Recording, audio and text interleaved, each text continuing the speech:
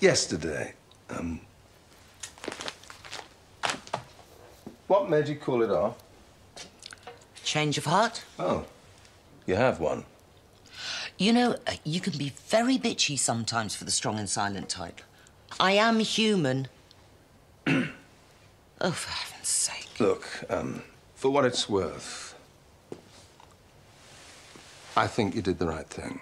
Oh, well, thanks for your input. So, what next? An end to the games? Manipulation?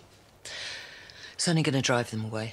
Jamie hasn't exactly been transparent with you either. I'm still giving him my share in the vets. With a view to. Giving him my share in the vets. Aren't I being clear? With a view to him staying. And?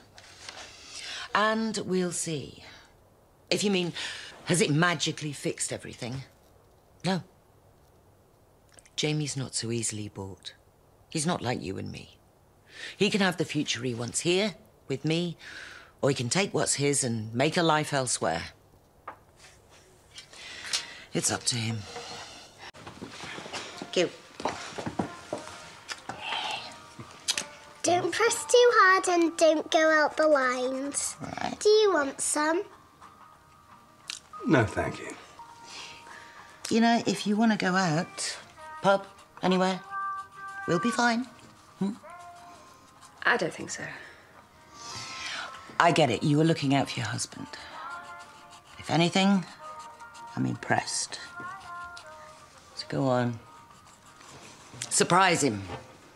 You both deserve it. Are you sure? Thank you. Right, you be good. Hmm.